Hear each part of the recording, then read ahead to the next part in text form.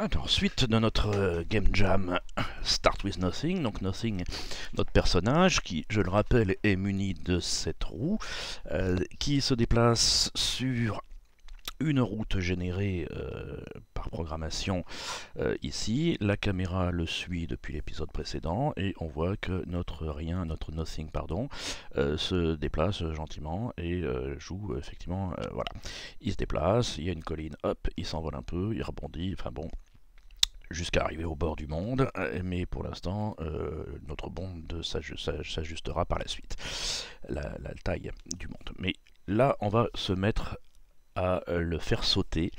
Euh, le faire sauter va tout simplement pour pouvoir euh, contourner des ennemis. et pour pouvoir contourner des ennemis, bah, le mieux étant de mettre un ennemi déjà. je vais mettre un ennemi. Où est-ce que j'ai mes ennemis? Je vais mettre un ennemi. Un ennemi, c'est-à-dire un, méchant. Je vais le mettre ici, puisque on avait dit qu'on avait le méchant nul. On aura d'autres méchants par la suite. Je vais juste vérifier qu'il est bien calé. De manière à ce que il sera évidemment lui aussi généré dynamiquement dans un épisode prochain de notre, de notre Game Jam. Euh, là pour l'instant il est à du bord, très bien. Euh, si j'accélère ici, ben, je rentre, plaf, non, je passe à travers nul. Pourquoi je passe à travers nul? Sans doute parce que je n'ai pas mis de collision sur nul ou qu'il y a un truc qui se passe pas bien. Euh, mais ça, à la limite, peu importe. Ce qu'il faut, c'est que je puisse sauter et passer par-dessus. Les réglages euh, fins iront par la suite, bien sûr. Comment sauter? Alors, comment sauter? Eh bien, on va retourner sur notre, sur notre héros, et notre héros va avoir ici. Euh, de la même façon que notre héros, notre script de héros était ici, nous avons ici dans nos scripts de héros, euh, dans le update, attendu qu'il y ait une touche horizontale, et en fonction de la touche horizontale, eh bien, nous allons effectivement euh, pouvoir sauter. Donc ce que l'on va vouloir faire maintenant, c'est se dire que si j'appuie input sur le get je vais y arriver, get.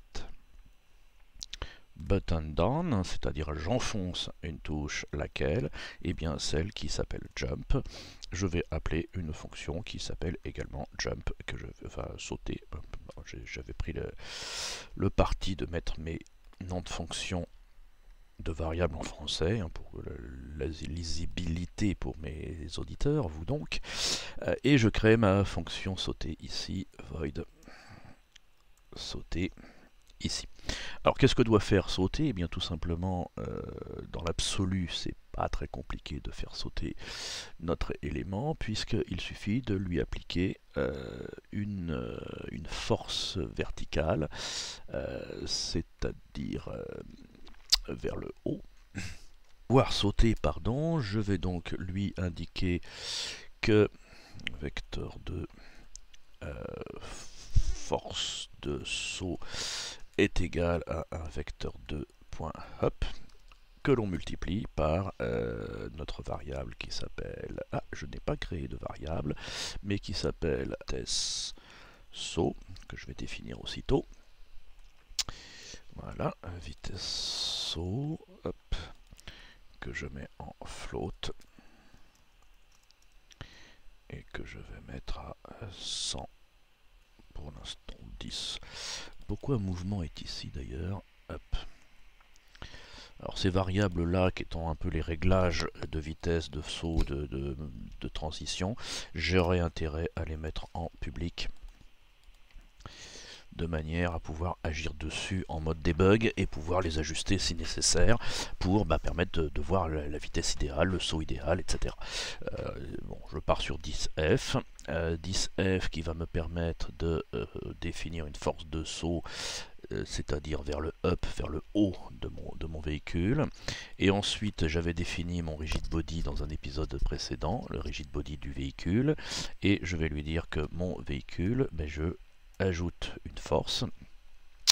Une force qui va être équivalente à cette variable force de saut. Donc ça, ça va être donc définir la force du saut.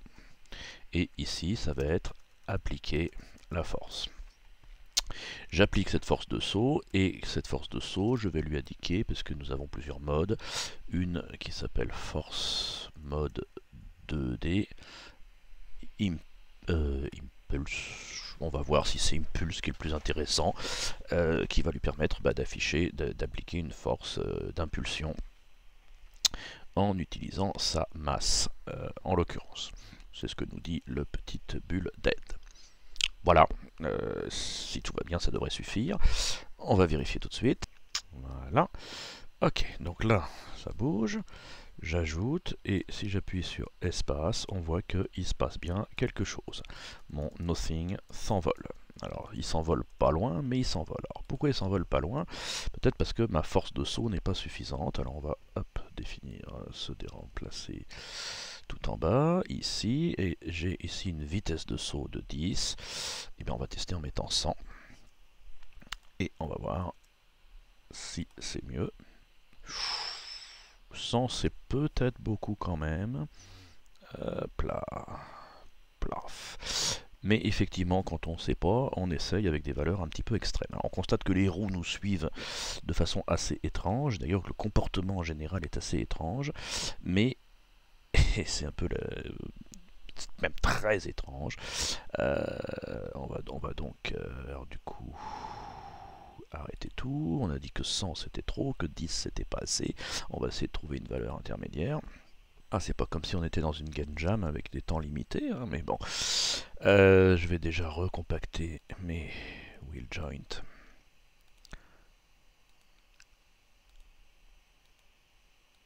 Voilà. Et on va essayer en mettant 30. Pourquoi l'effet de, de, roue qui se détache euh, est présent bah, Tout simplement euh, parce que, 30 c'est pas assez, parce que j'applique la force à mon collider de Nothing, mais je ne l'applique pas aux roues. Alors ça pourrait être intéressant de l'appliquer aux, roues aussi, de manière à ce que les roues sautent de manière euh, beaucoup plus fluide, on va dire. Euh, on, va, tester après. Euh, après, vous, si vous, vous appliquez ça pour un jeu que vous faites vous, libre à vous après de choisir le mode de fonctionnement. Là, on constate qu'effectivement, je saute.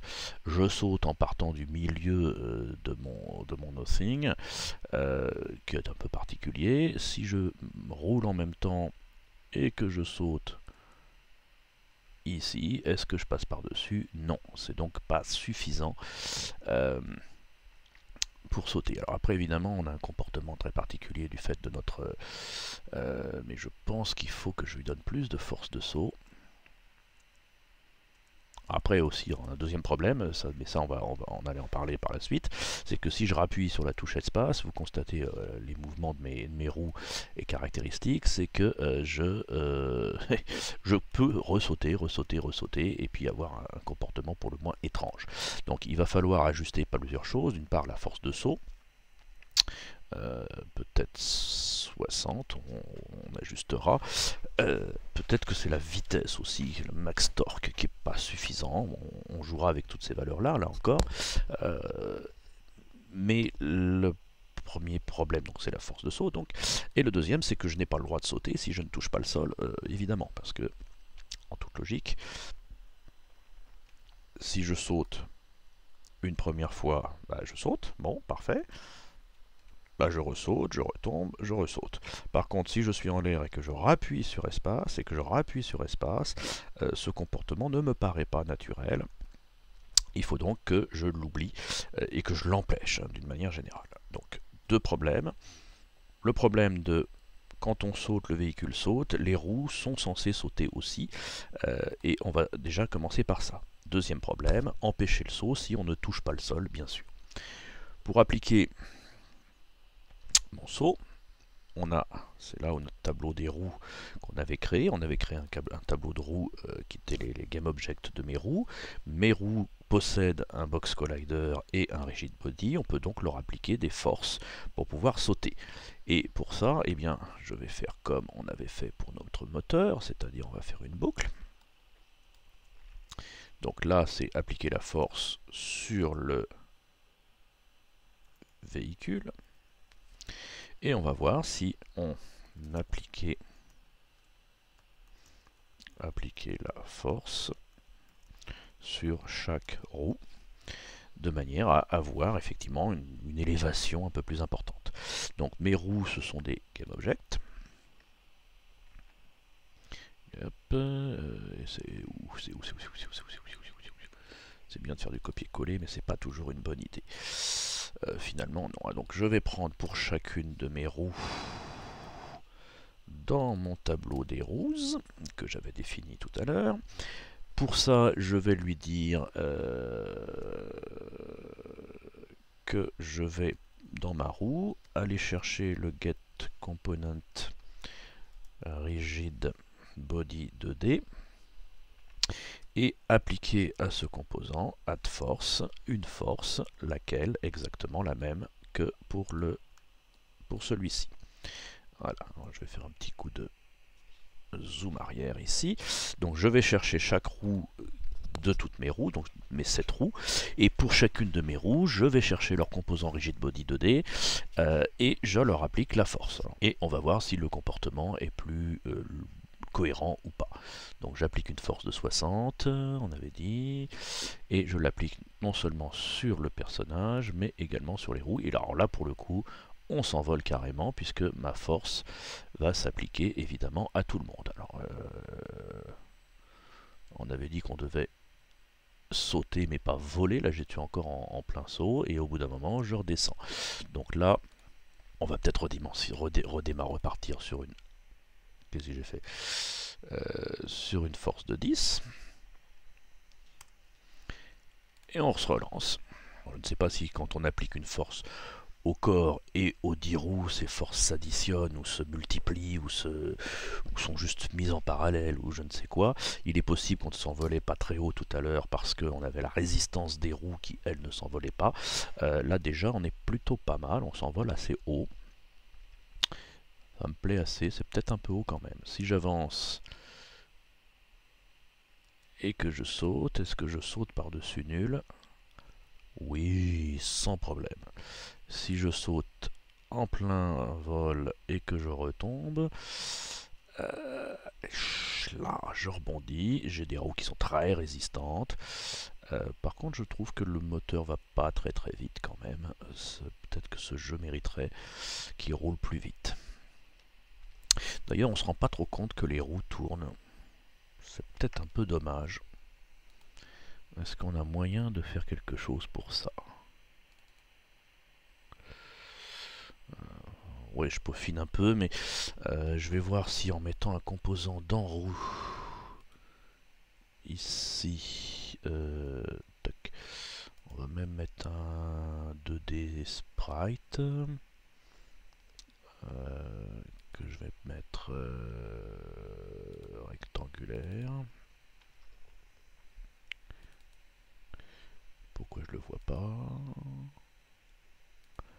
Alors on va le mettre en voilà 2 et si je lui mets 0.3 0.1 c'est pas mal. Et un deuxième 90, comme ceci. Ouais, c'est peut-être un peu beaucoup en Y. On va mettre 0,75. Alors je suis dans le, totalement arbitraire évidemment. Est-ce que ma roue tourne quand mon véhicule tourne?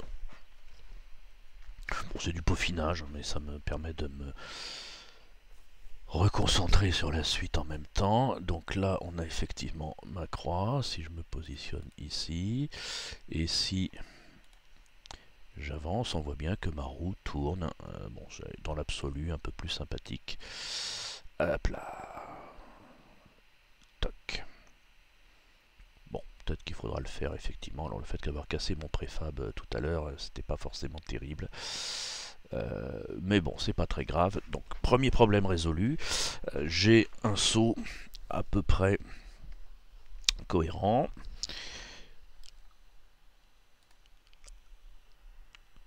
Je vais laisser ces deux sprites pour mémoire et pour la roue de tête, on va dire. Euh... Oh, en même temps, je peux les dupliquer vite fait pour les autres. 0, 0.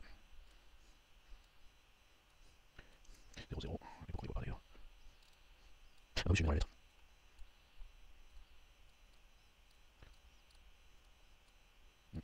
Pas l'air de se passer à 0, 0, bien sûr. C'est là où fait d'avoir cassé mon je le paye cher. Ah, bon, pas obligé d'ajouter ce petit croix qui pas un préfab non plus d'ailleurs, hein, bien joué.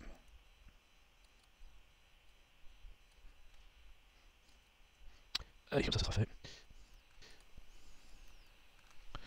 Et le dernier, j'aurais dû mettre que deux roues, ça aurait été plus simple.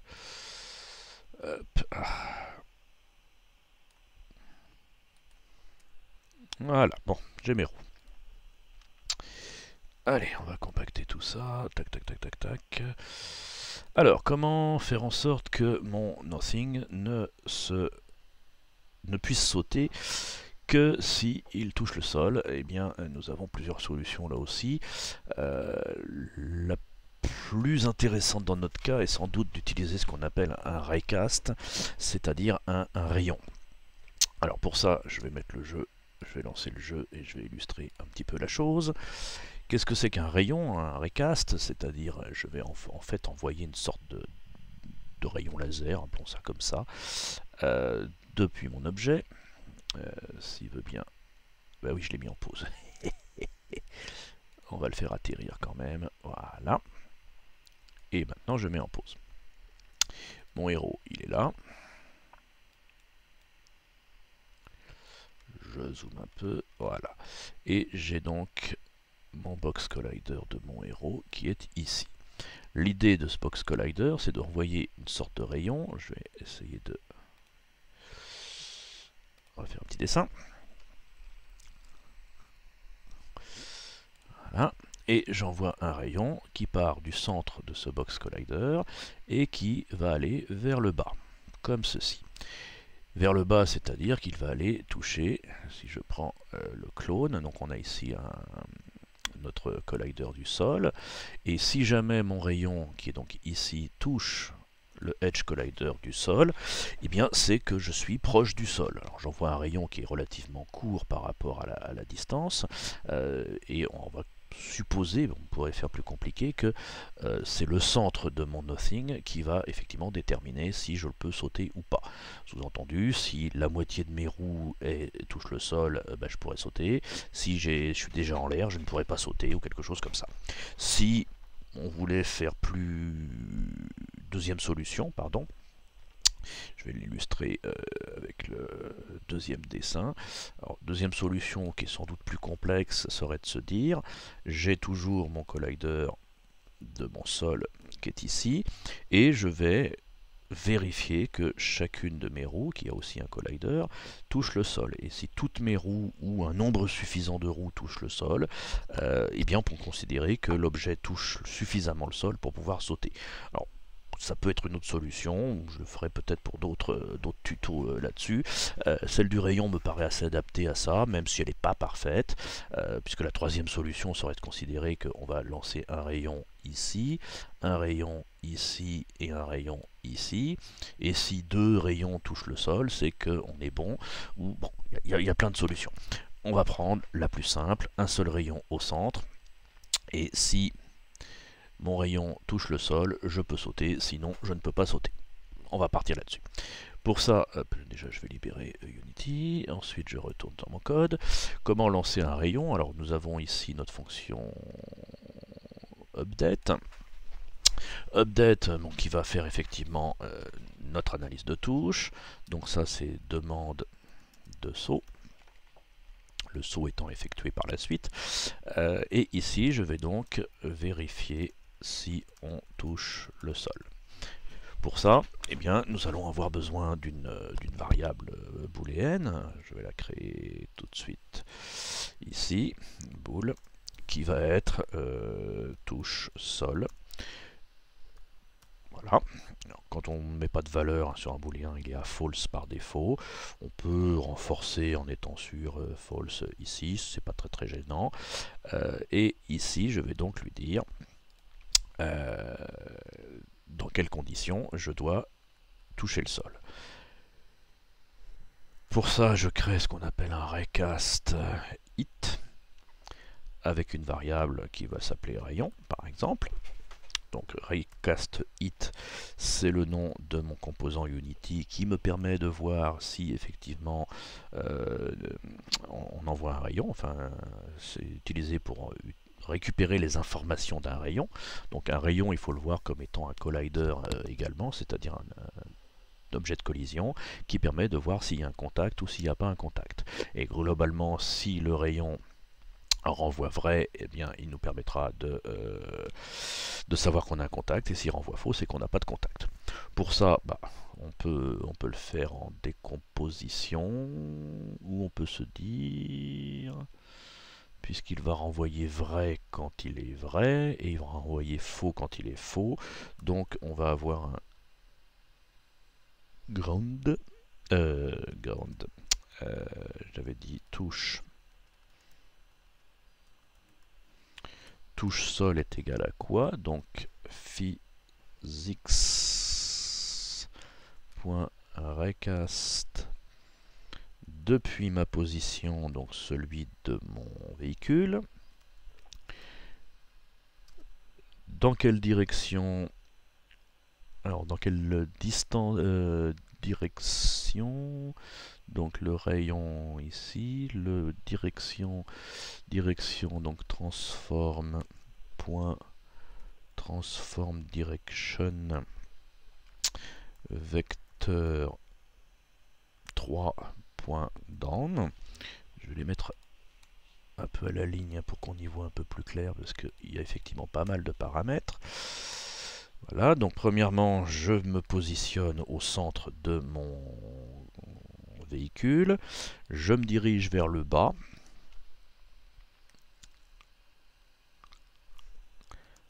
Out rayon. Donc ça c'est dans l'hypothèse où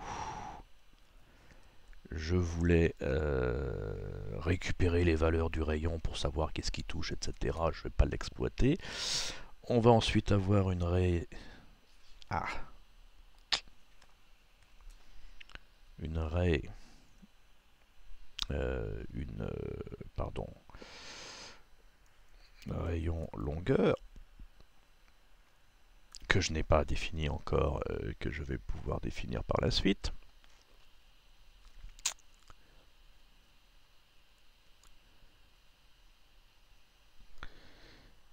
Rayon longueur.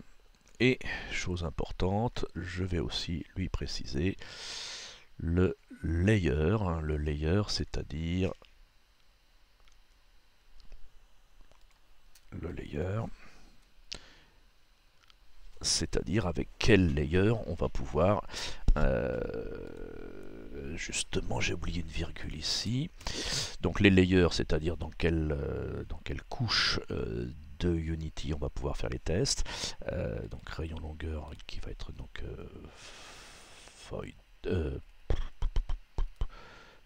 float rayon longueur que je vais définir par défaut à 1. Je remonterai évidemment mes variables par la suite. Je vais la mettre en public pour pouvoir l'ajuster. Et j'ai également mes layers, mes couches, on va l'appeler couche, hein, couche, couche, alors c'est évidemment pas, c'est évidemment les couches au sens euh, empilement de, choses, qui elle sera donc de type euh, public layer mask couche. Euh, qui va me permettre de, me dire avec quel type d'objet je vais interagir. L'idée étant, euh, pourquoi je, parle de ces couches, parce que je ne suis pas très clair là-dessus, mais euh, tout simplement parce que si j'envoie un rayon à travers mon collider à moi, je touche quelque chose, je me touche mon collider à moi. Conséquence, je serai toujours vrai, puisque je toucherai toujours quelque chose, je me toucherai mon collider, ce qui n'est pas l'idée il faut donc lui dire je ne veux toucher que certains, certains colliders, certaines couches, euh, typiquement celles du sol. C'est-à-dire euh, le sol. Alors on va ajuster évidemment l'autre côté, euh, côté. Donc là, tac, je déplace ici, je vais me remettre ici. Voilà, donc le float mouvement, cela c'est des variables internes, on va les mettre ici. Mon code n'est pas très propre, mais hop, je peux toujours l'ajuster. On a les variables externes qui sont ici. Celle qui correspond à notre vitesse, celle qui correspond à euh, saut ou pas. Voilà, euh, touche sol fait partie du saut ou pas. et mouvement fait partie du mouvement. Hop là. Mouvement. Voilà. Un niveau un peu plus clair. Alors le vitesse saut, bon, on va pas, on va pas tout, tout ajuster effectivement ici. Donc mon, coup, mon mes couches. Pour ça, il va falloir que je euh, lui permette de euh, préciser dans quelle couche ça va se passer, donc quelles, sont les, couches en, question, euh, puisque vous le constatez en haut, j'ai mes layers, mes couches, que mes layers, bah, pour l'instant il n'y a que ceux qui sont par défaut ici, je vais définir un layer supplémentaire, non, non, je fais cancel, là, je ne touche à rien, j'ai rien touché. Euh, ça va concerner une couche supplémentaire, celle du sol. Puisque je ne, dois, je ne veux sauter que si je touche le sol, hein, pour, le, le, dire euh, de cette façon-là. Donc je prends mon préfab de sol, et dans mon préfab de sol, donc je vais rajouter, je suis toujours en haut à droite, ici pour mon sol, pour mon, mon préfab de sol, je rajoute un layer que j'appelle sol. Voilà, pas très compliqué. De même qu'on avait rajouté des tags euh, préalablement, là je vais rajouter un sol. C'est comme ça que fonctionnent les raycasts, hein. on, fonctionne en layer, on aurait peut-être pu fonctionner autrement, mais c'est a priori de cette façon-là que ça marche. Et mon sol, je vais lui dire, hop, je vais lui affecter le layer sol. Voilà, c'est à ce stade c'est tout. Et si je retourne sur mon héros, j'ai en bas mon objet sol sur lequel je vais lui dire je mon objet couche pardon c'est-à-dire le layer avec lequel mon euh, recast doit interagir. Ne me reste plus qu'à préciser une longueur de rayon. Alors longueur de rayon, c'est-à-dire à quelle, à quelle longueur par rapport à mon, à mon box collider. Alors il est où mon box collider? Ici. Quelle est la distance entre ce point-là et le sol raisonnablement ici? On va tester à 1, on verra ce que ça donne. Si on ajuste, euh, bah, on verra ce que ça donne donc. Pour euh, voir euh, ce qui se passe, on va également utiliser un, mode, euh, une fonctionnalité pardon, du mode debug, ce qui va, nous, permettre de voir ce fameux rayon, puisque c'est un rayon invisible dans l'absolu. Euh, je ne sais pas si mon code est défini d'ailleurs ou pas, mais je crois que oui. Euh, là, pour l'instant, tout se passe bien, j'ai ici mon truc qui se pose, j'appuie sur espace, je m'envole, mais si je rappuie, je rappuie, je rappuie, je m'envole, je m'envole. Donc il y a un truc qui va pas. Ah, oui, chose importante, je joue avec mon rayon, mais quand je demande de sauter, je ne vérifie pas que je touche le sol. Donc chose importante, pour pouvoir sauter, il faut qu'on appuie sur la touche jump et qu'on touche le sol. Les deux conditions doivent être remplies évidemment pour pouvoir sauter. Sinon ça sert à rien de faire un rayon, qu'on soit bien clair. Euh, donc je relance. Voilà, mon objet se pose. J'appuie sur espace et il ne se passe plus rien maintenant. Alors sans doute que mon rayon est trop court. Euh, et si je mets une longueur de 2, on va tester comme ça à la louche, ou de, ou ou de, 3, pour être sûr que ça passe. Euh, enfin, je pense. Là, je pense que sauf erreur, non, ça passe pas non plus.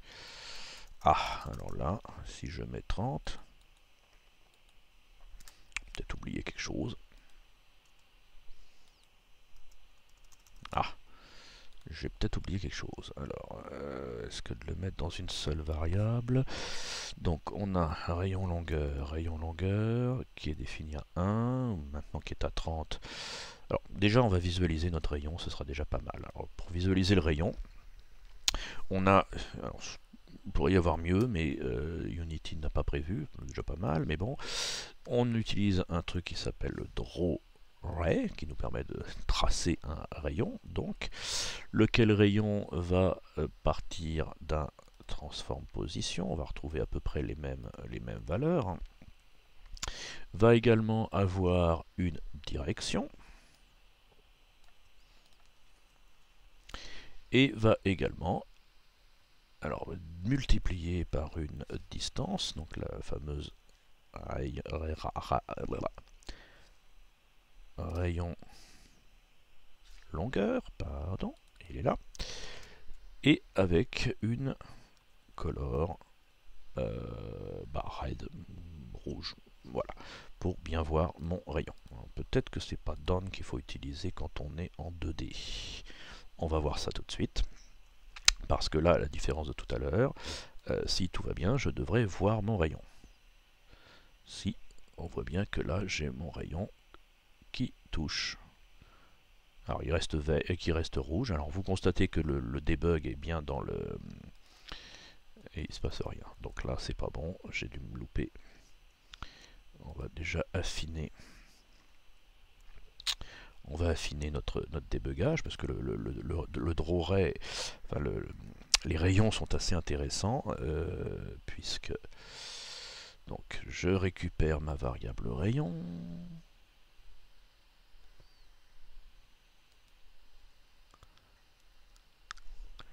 Et plutôt que d'affecter tout de suite ma variable, on va organiser notre code un peu autrement. Je vais mettre un if de tout mon physique, rayon, machin, tout ça. Si ça me renvoie vrai, je mets touche sol à trou. Un trou. Sinon, je mets touche sol à false. Si c'est vrai, alors si c'est faux, on va mettre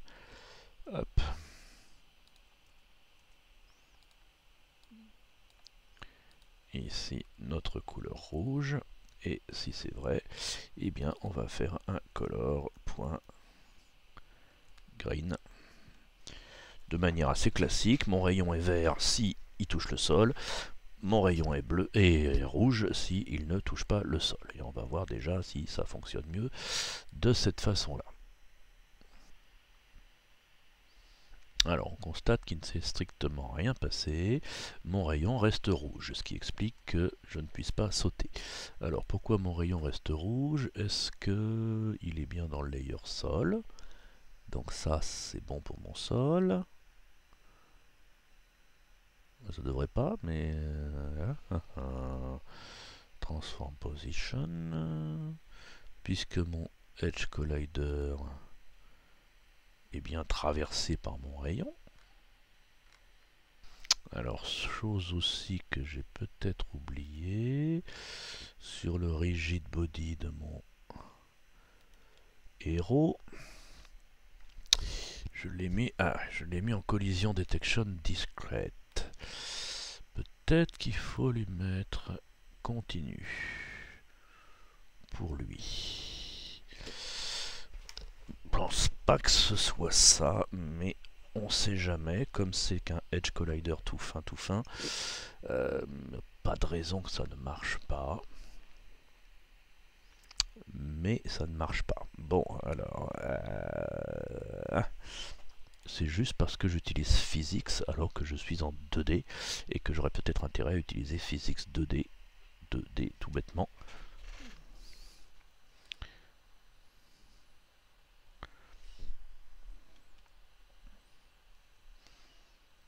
J'utilise pas cette variable rayon. Mais peut-être que le mode physics 2D, euh, je confonds un petit peu des fois. À force de faire des expériences dans tous les sens. Donc là, j'ai bien mon rayon.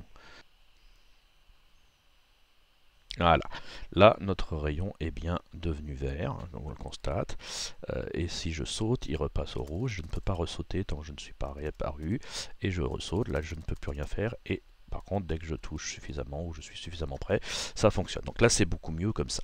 Donc effectivement, euh, je reviens sur mon explication de mon code, hein, parce que euh, déjà, premièrement, le out que j'avais mis ne sert pas vraiment puisque je n'exploite pas cette variable et à la limite puisque je ne l'exploite pas je l'annule complètement je vais utiliser je, suis en mode 2D c'est tellement bête mais euh, effectivement en mode 3D, Unity a un objet qui s'appelle physics, et en mode 2D, il a un objet qui s'appelle physics 2D. il y aurait eu un, objet physique 3D et un objet physique 2D, je pense qu'on n'aurait pas fait, j'aurais pas fait la bourde.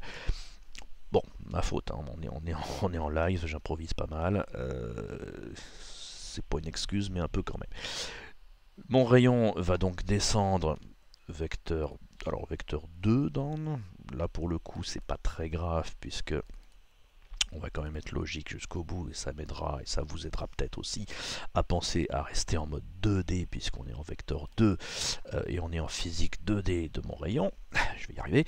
J'ai bien un rayon vert ici qui me permet, et on va essayer de trouver une pente à un moment donné. Euh, évidemment, il n'est pas très épais hein, sur le. Je crois pas qu'on puisse l'épaissir hein, le, rayon, mais on va essayer de le visualiser ici. Je vais avancer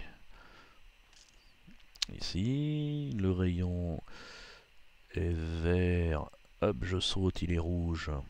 On le voit à peine, mais il est rouge quand même. Je retouche, il est vert, je peux ressauter, hop, et du coup je peux faire n'importe quoi et me renverser, plaf. Bon, on verra qu'à un moment donné, il faut pouvoir mourir aussi, hein, bien sûr. C'est malheureusement la règle de ce type de jeu, euh, et des jeux en général d'ailleurs, euh, c'est qu'on peut, on peut sauter. Là, mon rayon, vous le constatez, ne touche pas le sol. Euh, puisqu'il est en haut. Euh, je pourrais effectivement de la même façon faire un rayon dans l'autre sens et si jamais l'autre rayon dans l'autre sens touche le sol c'est que je suis mort euh, bon on verra les façons de mourir par la suite si on, a le temps je pense qu'on essaiera de trouver le temps de mourir oui, c'est un peu bizarre de dire ça, mais on va déjà, bah, on va s'y attaquer d'ailleurs. On va, on va dans le prochain épisode voir pour générer des méchants et également pour pouvoir, je pense, euh, retravailler le générateur de route. Euh, le générateur de route de manière à pouvoir allonger la route au fur et à mesure qu'on avance, détruire la route qu'on a déjà traversée pour euh, éviter de, saturer les, ressources et éventuellement générer des méchants. Effectivement donc nos trois méchants nul nada et rien qui seront les ennemis de Nothing. Voilà. À très vite pour le prochain épisode